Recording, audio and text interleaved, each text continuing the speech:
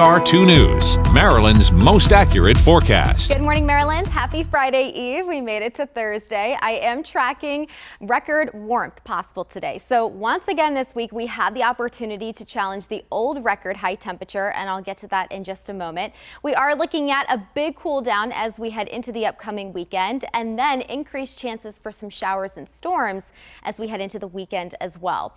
This morning, we're waking up with very mild numbers above where we should be. We're supposed to be starting things off in the upper 40s and low 50s, so we're about 10 degrees above that with a temperature of 61 in downtown Baltimore, and our dew points currently sit in the upper 50s this morning, so we are feeling a slight stickiness in the air right now.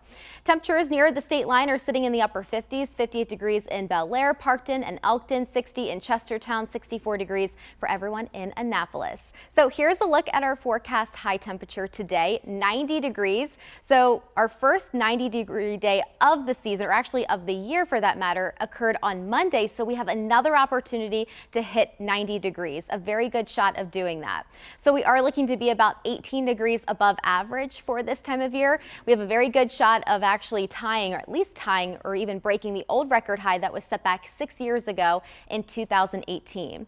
Looking at your muggy meter, dew points are going to be ranging in the mid to upper 50s today, so a slight stickiness in the air, but back to more comfortable levels as some drier air works in on Friday, and we are going to be dealing with the more of an onshore wind flow throughout the day tomorrow, helping to drop our temperatures. And then our dew points will start to steadily increase as we head into next week.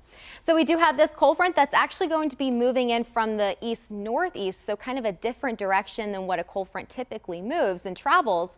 So this is actually going to lead to more of an onshore wind flow as we head into your Friday, helping to knock our temperatures down. But today we are looking at bright skies, abundant sunshine, feeling very summer-like. So find ways to get outdoors today, but of course make sure you stay hydrated and stay safe from the heat.